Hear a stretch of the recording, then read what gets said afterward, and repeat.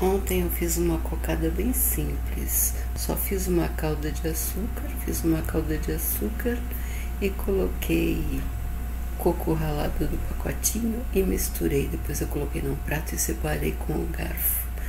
Para formar as cocadas, antes que endurecesse, eu fui separando. Deu certo.